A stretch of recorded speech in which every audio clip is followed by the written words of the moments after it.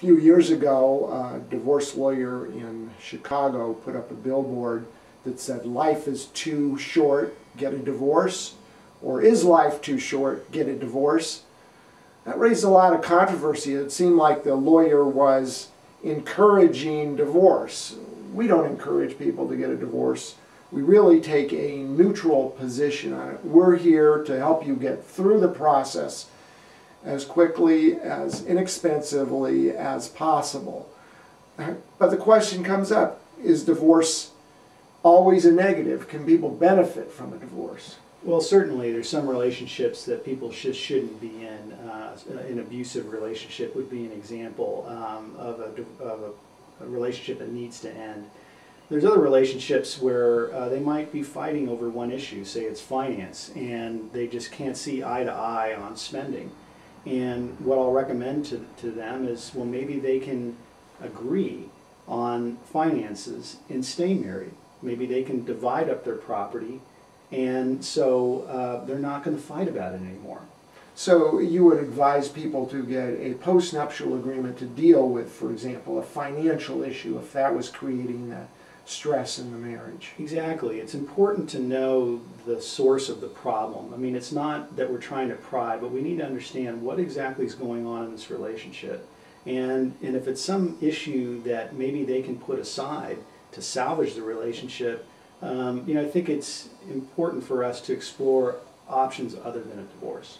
Now, we don't take the role of a therapist, and we do recommend that people seek counseling before they come to us. And in fact, most people have exhausted those remedies. They've gone to therapists, they've gone to counselors, they've talked about it. Why? Because going to a divorce lawyer is frightening for people, it, it, it's costly, so they are going to exhaust those remedies. So by the time we see them, they've done that process and they're pretty determined or they've been threatened by their spouse. There's also um, issues that might come up with religion, where um, their religious beliefs preclude them from getting a divorce.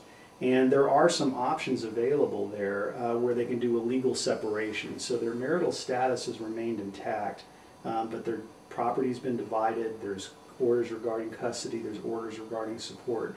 So um, there are ways of working working with those individuals. Um, there, there are also cases where we uh, see parties who maybe one wants the divorce, the other doesn't want the divorce. And um, the one that doesn't want the divorce is really dragging their feet and uh, making this process much more expensive and time consuming to go through.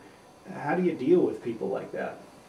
I mean, we do recommend counseling for those people, and sometimes it's a timing issue. Eventually, they will come to the realization that the, this marriage is not working out. So until they realize that, they are going to dig their feet. They're going to make the divorce more expensive, more costly. The emotional issues clearly dictate the cost of a divorce, how smoothly it's going to go, how much time they spend in court, and how the process goes.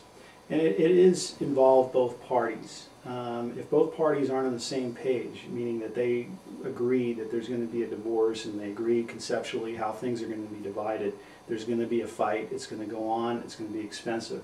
And sometimes pushing works, sometimes pulling works better. So you sort of have to, to, to look at the climate and understand what's going to work best in that particular case. Um, sometimes backing off is the best strategy sometimes pushing forward is we just really have to evaluate it case by case.